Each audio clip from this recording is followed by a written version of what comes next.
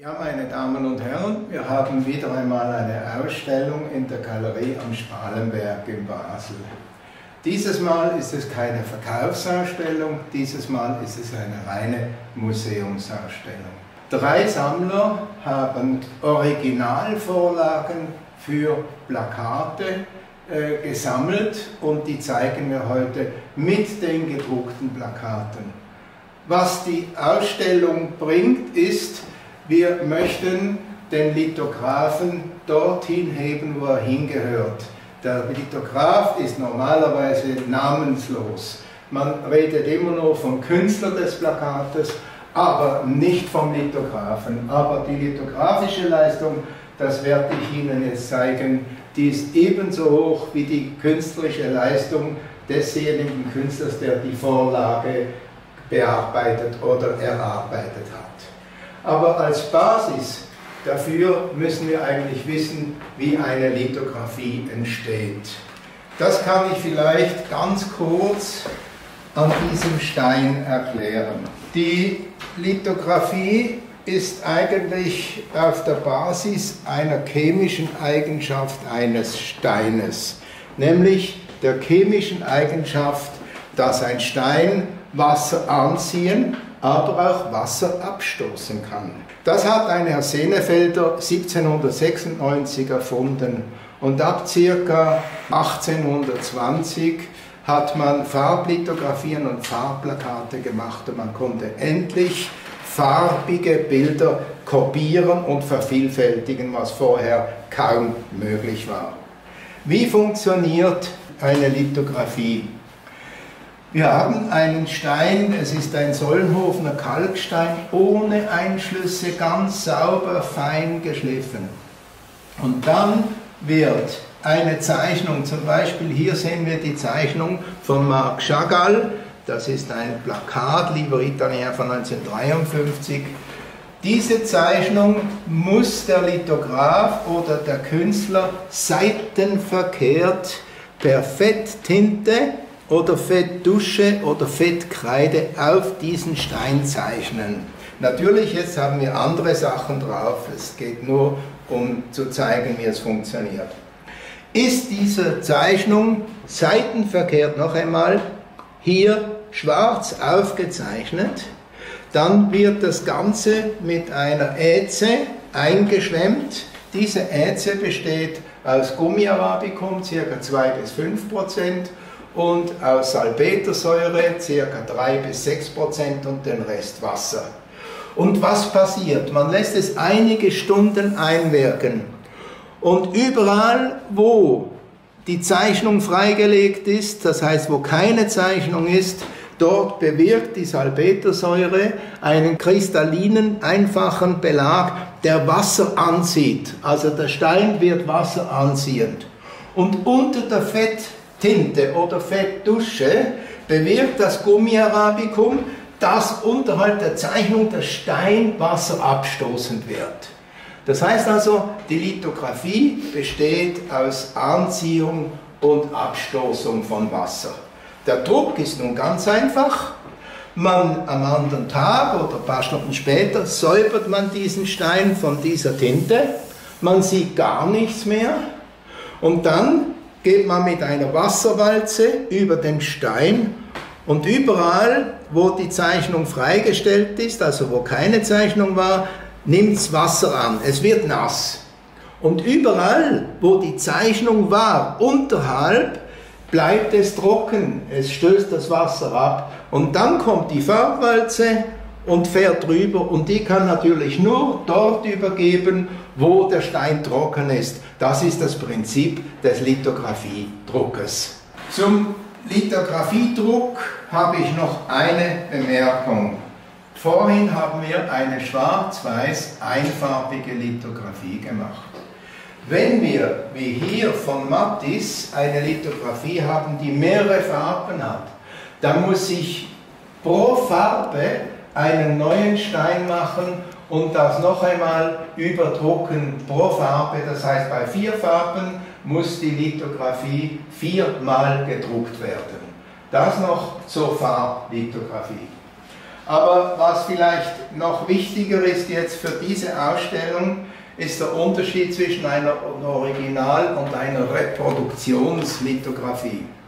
Eine Originallithografie, das ist eigentlich das Gebiet der Künstler, die lithografische Kunst erzeugen. Manchmal machen sie eine Vorlage oder manchmal gehen sie direkt auf die Platte und beginnen zu malen bzw. zu zeichnen auf der Platte. Äh, die Idee eines Malers, die ist manchmal nicht durchsichtig, vielleicht auch etwas undurchsichtig. Wir wissen nicht, vielleicht sieht er einen schönen Baum draußen und der Tag ist schön und ein Fluss vorne dran und dann macht er einen Fluss und einen Baum. Und er kann jederzeit, wenn ihm eine Form nicht passt, die Form wieder ändern, er kann wegschleifen und kann wieder etwas Neues hinzuzeichnen.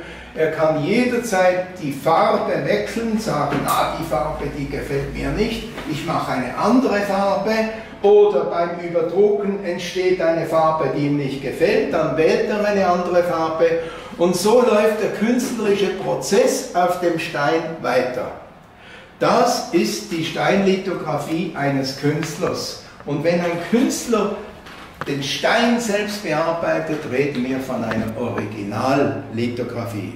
Jetzt gehen wir hinüber zur Plakatlithografie. Die Plakatlithografie stellt ganz andere Anforderungen an den Künstler und an den Lithografen. Für den Künstler stellt sich die Anforderung, dass er einen bestimmten Gegenstand oder eine Versammlung oder irgendeinen Kongress beschreiben muss. Aber er muss es so beschreiben, dass es Aufmerksamkeit erwirkt. Er muss Aufmerksamkeit erzeugen. Das Plakat muss am Ende, wenn es dann draußen hängt, gewinnen gegenüber den anderen Plakaten. Das weiß der Künstler. Im Normalfall früher gab es ja keine ähm, Ateliers für Grafik, sondern äh, es gab den, den Litho-Shop bzw. die lithografische Werkstatt. Man ging dahin und hat gesagt, ich brauche ein Plakat. Der Lithograf, der kannte einige Künstler und hat gesagt, ich werde zwei, drei Künstler fragen, die Entwürfe machen. Und dann hat man das ist ein Originalentwurf, hat man zwei, drei, vier Entwürfe gemacht. Und wenn der Auftraggeber einverstanden war, dann musste er in Weltformatgröße, das ist 1,18 Meter mal 89,5 cm, musste er ein Bild malen. Das ist ein Originalbild gemalt vom Künstler. Und jetzt kommt der Lithograph. Der Lithograph, der hat überhaupt keinen Spielraum bei der Entwicklung seiner Lithografie. Er muss sich an die Vorlage des Künstlers halten. Und das ist viel, viel schwieriger, viel schwieriger, um Faktoren schwieriger, wie wenn man freihändig auf dem Stein irgendetwas zeichnet. Zuerst hat er in diesem Fall bei dieser Lithografie über Pauspapier hat er die Form herübergepaust und dann auf gelbem Papier hat er den braunen Teil gedruckt. Jetzt dieser braune Teil macht noch gar keinen dreidimensionalen Eindruck. Äh, erst als er mit dem zweiten Stein, das ist also der nächste Druck, das Weiß gedruckt hat und das diese Teile gedruckt hat, wird es ein bisschen plastischer. Aber ganz plastisch wird es erst, als er dieses Grau auch hier verwendet und hier diese Teile in Grau und Schwarz zeichnet. Jetzt wird es absolut plastisch. Und die Farben sind auch im Normalfall viel stärker. Die Lithofarben sind starke Farben, sie wirken auf der Straße. Dieses Plakat hat übrigens keine Schrift. Das ist ganz einfach und das hat man früher sehr viel gemacht. Man hat einfach das Bild gemacht und man hat sehr viele dieser Bildplakate gedruckt und dann je nach Spiel, das sie hatten, in Lugano, in Berlin oder weiß ich nicht wo, hat man dann den Eindruck nachträglich gemacht. Das war die billigere Variante. Wir hatten vorhin ein relativ einfaches Plakat mit diesem Eishockey-Handschuh. Hier haben wir es mit einem sehr komplizierten Plakat zu tun, das Eichhörnchen, das impliziert, dass wir hier die sauberen Zähne oder die Zähne sauber putzen. Äh, ich glaube, das Plakat war damals 1945 auch ein wenig auf die jungen Leute ausgerichtet, sie zum Zähneputzen zu animieren.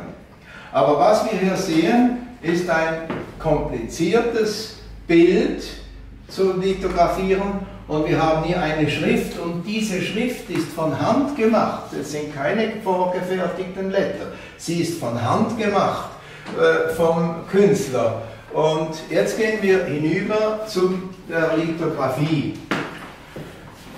Hier sehen wir, es hat mehrere Farben, es hat mindestens fünf Farben in dieser Lithografie. Und der Lithograph muss sich zum Voraus entscheiden, welche Formen und welche Farben er nacheinander druckt.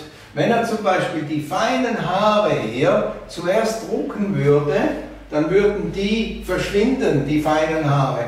Das heißt also, er muss ganz genau überlegen, was nacheinander gedruckt wird.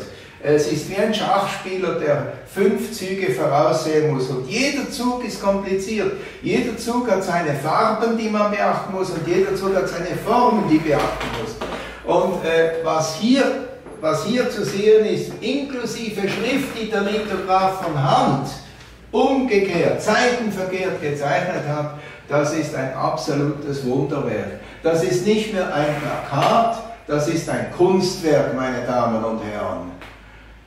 Also hier haben wir wieder ein sehr, sehr, sehr kompliziertes Plakat zum Lithografieren. Wir sehen hier die Vorlage von Niklaus Stöcklin äh, von 1945.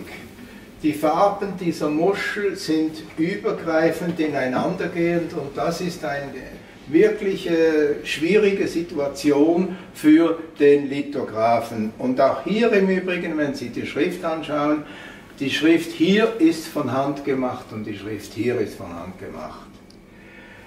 Aber es ist nicht die Form alleine, die der Lithograph übertragen muss, sondern die Farben, die ineinander fließen. Das ist hochkomplex, was hier der Lithograph fertiggebracht hat. Man kann sagen, das ist die Lithografie in der höchsten Kunstausrichtung.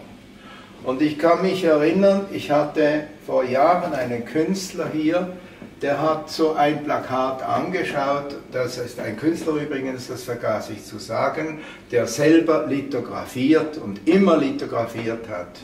Der ist an das Plakat gegangen, hat hingeschaut und hat gesagt, Wahnsinn, Wahnsinn, was dieser Lithograph gemacht hat, das könnte ich nie und nimmer. Hier haben wir im kleinen Picasso-Raum in dieser Galerie äh, eine kleine Sonderausstellung zum Plakat, nämlich die Plakate von Irene Zurkenden. Sie ist eine sehr bekannte, sie war eine sehr bekannte Basler Künstlerin. Und 1932 war das, das erst, die erste Ausstellung in der Galerie Schultes und es war das erste Plakat. Zu dieser Zeit hatten weder Künstler noch äh, Galerien das Geld, eine teure Lithografie sich zu leisten und man hat die Plakate ganz einfach von Hand gemalt, äh, ohne Jahresangaben. Man hat da etwas gezeichnet, ein Bild gemacht. Das sind alles Originale. Das heißt, die Künstlerin ist auch gleichzeitig die Plakatausführerin. Und hier hat die Galerie Schultes, vielleicht ist man da zu ein bisschen Geld gekommen, ein Blatt gedruckt mit Ausstellung und Galerie am Schultes und der Künstler konnte jeweils ein, ein Bild malen, um sich darzustellen für diese Ausstellung. Und das ist noch das letzte handgemalte Plakat. Äh, das war nach der Eröffnung der Komödie 1950 in Basel mit Eve-Marie Kreis-Tanz und Irene Zurkenden Malerei Cocktail de Minuit.